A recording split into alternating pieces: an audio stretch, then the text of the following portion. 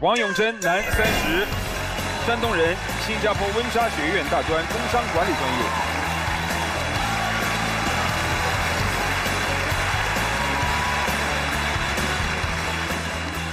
大家好，我是不鸣则已，一鸣惊人的王永贞。二零零九年，一次代替他人面试的机会，让我有幸去新加坡工作。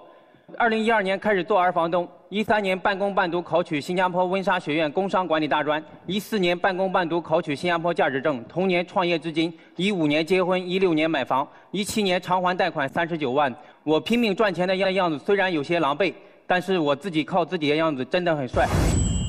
今天来到非你莫属的舞台，想寻求一份市场扩展、客户服务、与人接触的工作，或各位企业家认为适合我的工作。谢谢大家。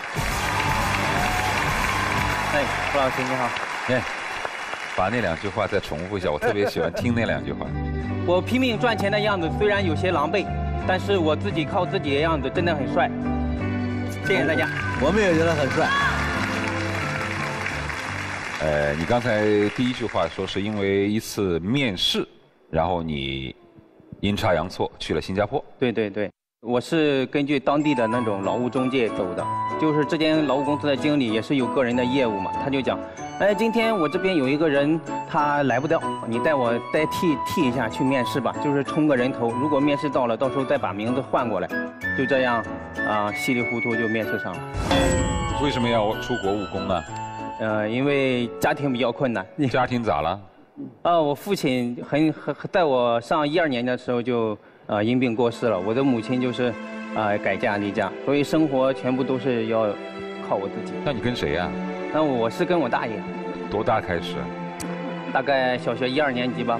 你母亲对你没有尽到抚养义务？啊，基本上是没有。是吧？所以你跟母亲关系？呃，现在有有联系，但是很少。就是有时候过年过节我会给一点。啊，那你是什么感受呢？对母亲是一种什么样的感情呢？就是。可以不去恨他，但是无法原谅。他这个说话拿捏的尺度都很好啊。那你这个新加坡温莎学院是出国？对，是我去了，在那里工作了之后，然后我觉得我的学历不够，因为初中毕业以后就去了嘛。去了之后是在工厂里面，在工厂里面感觉到跟那边的人啊，好像差距差很远。然后呢，我就报了晚上的学校。你在新加坡留了多少年？今年是第十年，十，你还在新加坡？对，我还在新加坡。在那干嘛呢？现在？因为我现在开了一间小餐馆。哟，在新加坡创业了。嗯。那创业挣到钱了吗？嗯，还不错。现在小店每月营业额都在十万元以上。啊，所以回家买了房子。嗯。结了婚。对。那老婆哪找的？老婆是在新加坡找的，但是是山东人。然后现在他在国内。他跟孩子在国内。买的房子在哪儿呢？也是在我们泰安，所以再回顾到你刚才上场，我让你重复的那句话，虽然我挣钱的样子很狼狈，但是我一直靠自己，我真的很帅，是吧？就完全都是靠自己。对，因为一七年我就特别想来，我在手机里看到你，我都看到不想再看了，我就把这些全部都取关了，但是总总是忘不掉。你为什么那么讨厌我呢？不是讨厌，是非常喜欢，喜欢的都想把你忘掉。你今天面试的是市场拓展、客户服务，我觉得你可以做。但市场拓展你做过吗？我没有做过，但是有时候我会看有关市场方面的书。你要薪资多少？啊，一万二。市场拓展一万二可挺高的了，你又没干过。对。没干过可以学吗？可以学，那你就工资不能那么高吗？对不对呀？要不然的话，我们给钱给你的时候，我们很狼狈的嘛。不会，对不对？我们拒绝了你的时候，我们很帅吗。永贞啊，如果是你真的要去做这两个岗位的话，我真的建议你，你把你的薪水调到五千。其实你如果是说真的是一个有本事的人，你进去的时候可能只是五千，但是你创造的价值提升的时候，你的薪水自然而然的就上去了。这是我给你的建议。他有股子拧劲儿，他是可以做市场，可以做销售的，可以去开拓一盘一一这个一块领域的。但是，你有这样的能力，有这样的潜力，你必须现在要有一个起点。你要是真的就像你那那句话所说，靠自己我很帅，我有能力回国之后一样打出自己的一片天，那你就从五千开始，就像你今天整场所表现的那么励志是一样的。你调吗？五千。第一轮选择去过了。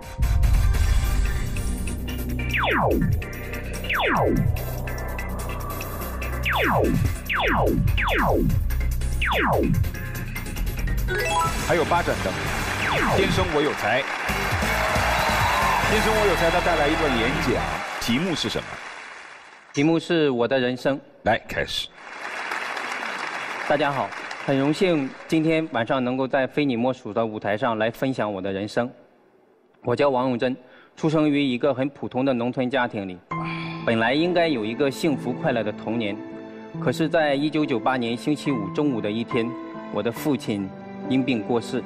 不久之后，母亲迫于生活压力改嫁离家，我和姐姐只能暂住大爷家里，在一个似家非家、似亲非亲的家庭环境中成长。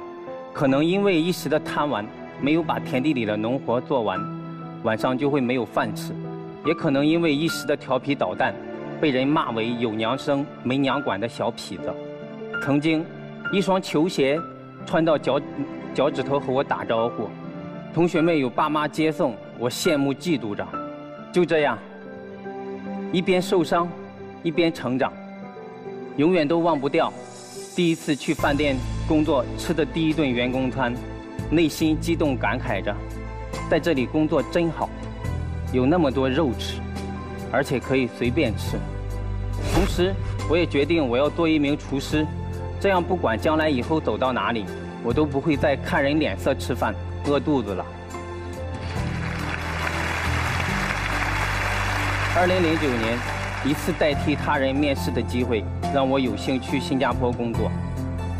二零一四年九月十五日，我以合作的方式将自己结婚的钱投入投资开了一间小餐馆。当时面对的困难、挫折、坎坷，比我想象的要多得多。现在我的餐馆每月营业额都在十万人民币以上，我也得到了不菲的收入。朋友们，你们知道人生最大的悲哀是什么吗？就是你什么都懂，就是不愿去做。别让懒惰毁了你的一生。谢谢大家。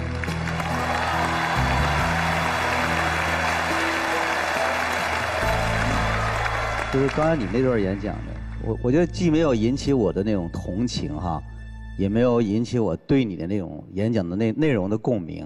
就是我们作为一个创业者，吃的苦绝不比你少。但是为什么你会拿出来说，我们不会拿出来说呢？是因为我们对。同样一件事情的承受能力不一样，我觉得你你之前那个苦跟你的原生家庭有关系，所以你现在的努力，在我看来呢，是一种带有一种报复式的努力，就是我要争口气，要怎么怎么样。其实生活就是这样，就就很平淡的对待它就可以了。如果你要把这些苦挂在嘴边，老去想它的时候，你生活是不快乐的。我只想跟你分享。我对你的演讲的看法，其实我觉得叶院长这边就没有设身处地的去想一想。叶院长，你去想一想，你是什么样的家庭，你是什么样的学历背景，你有多少机会等着你？这位后人他有什么呢？同时的话，你我们就看到他没有任何的抱怨，他反而的话，他觉得这是上天给他的礼物。我我是认同叶院长的话的。其实你说他苦吗？他曾经受过苦，但是现在的他，就是在我来讲，我觉得他是幸福的。对不对他的幸福是他努力得来的呀。没有，我不否认，在他整个过程中，你有幸福的感受吗？我听的时候，我的能量越来越低。不阳光。对，我我我叫汪反点，因为其实我们都在说，就是现在这两年特别热的一个话题叫做童年阴影、原生家庭。你觉得他不太阳光，没有那么幸福感爆棚，可能是他心里那个坑还没填满。是的。所以我们如果给他足够的爱和热，如果这样走下去的话，他就再成功，他也感受不到幸福。李群，李群，在这个场上，你是心理医生吗？你是他的父母吗？我们关心的不是他的心理健康问题，他幸福不幸福的问题，而是考核员工的问题。我认为他表现这种。这表现的素质反而是一个优秀员工的素质。哎，但是哎，我们这个时候能不能问一下选手，你觉得你现在幸福吗？我现在挺幸福的。对呀，这就好了嘛，真的，对不对？我们为什么要拆呢？我现在什么都有，都挺好的。但是他们觉得我悲观啊。其实我在台上我不能嘻嘻哈哈，只能说严肃一点，没有表现悲观，只是我把我的故事分享给大家。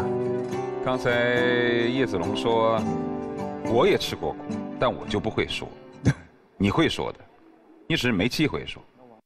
第二，你说他的苦，跟很多人受过的苦比起来，未必有那么的深厚和强烈。父亲走了，母亲改嫁，跟着大爷过日子，这还叫不惨呐？现在有父母、爹妈都在的情况下，拿着家里的钱啃老买房子的大有人在，他一个都没有，靠着自己一砖一瓦、一个平方米一个平方米的做出来。而且你还听他说到没有？他说父母现在我该给点我还给点而且他说了。我会原谅，但我不一定完全能够放下，这是时间问题。谁又能做到那么宽容？我们很多人站着说话不腰疼，放下吧。但放下真真的那么容易吗？我们没有体会过，针刺不到肉不知道疼。他能够站到这儿来，而且最后降到五千，而且他从头至尾，我们不管说，呃，你到底是薪酬高了还是怎样，他始终也没有表现出反感的情绪。和很多同年龄的孩子比起来，我感觉从他的身上，我感觉到了他说那句话子的时候，他内心是充满快乐的。我拼命赚钱的样子虽然有些狼狈，但是我自己靠自己的样子真的很帅。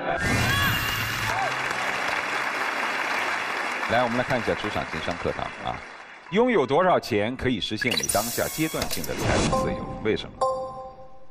大概有个几十万就可以了。呃，因为就是穷怕了。多多少少都要自己留一点，呃，不管是，呃，家人啊、家庭啊，还是生活啊，都需要都需要用的。其实我觉得他真的没有那种好高骛远，而且他是很实际的去面对这个问题。他很诚实的告诉大家说：“我穷怕了，所以我需要一些钱，我需要一些安全感。”所以我觉得这个题的话，他回答的是蛮加分的一点。其实啊，刚才你在回应老叶跟李群为什么说感受不到幸福感，其实反过来是他感觉到他有一种悲观情绪。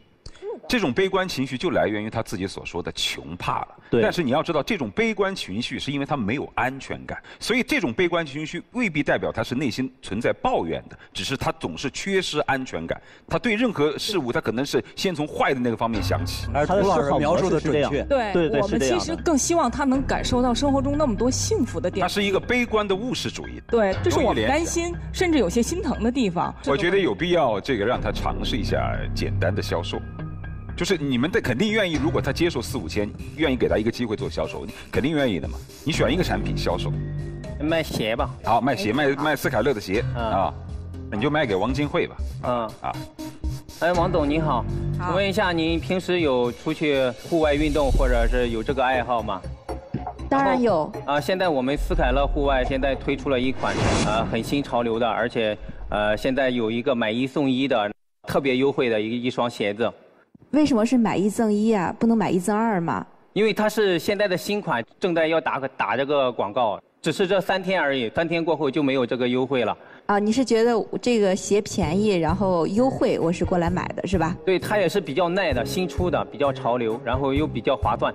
啊，我脚上穿着一双够潮流的这个登山鞋，不需要，谢谢。然后我们现在这个只要八百八十八块钱，你就你要卖生活方式，不要卖价格，换一种方式。这个您的这个品牌没有我们斯凯乐的好，它呃用特殊材料制作的。这个错处处处都是错。先否定。你先你先找一下王总的痛点，他那么忙的一个企业高管，他有没有运动的需求呢？要传达一种生活方式啊，对吧？刚才那个曾花都讲了。对。另外不要打压对方对手。而且还否定了你的客户的之前的选择。对。他不是一个有经验的销售人员。他给我交了卖给我鞋的时候，其实我在有打问号，呃，我在有想，就是什么样的职业，包括什么样的岗位适合他，其实我一直没有找到。你还觉得自己的样子很帅吗？还好，不会。那你不觉得你自己做市场销售，就目前为止，你这个斤两不够吗？你感受到了吗？感受到了。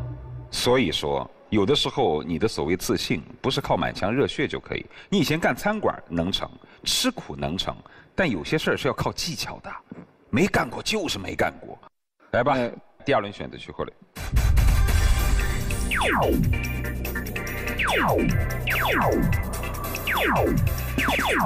还有一盏灯，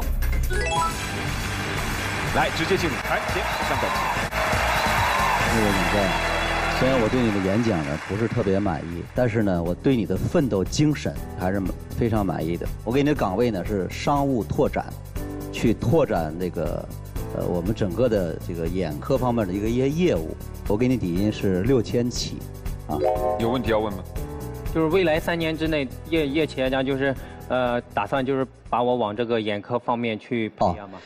其实可能你你你有点误会啊，虽然我们是眼科医院哈、但是我们有三分之二的人啊，实际上呢，并不是做专业的医生，是在里边占的比例比重是很小的。所以在我们这企业里边呢，你感觉不到你是一个医务人员，而你感觉到你是一个工作人员，是一个服务的人员。好，考虑一下，做出你最后的选择。梅尔木眼科医院，或者是谢谢再见，你的选择是？谢谢再见，对不起。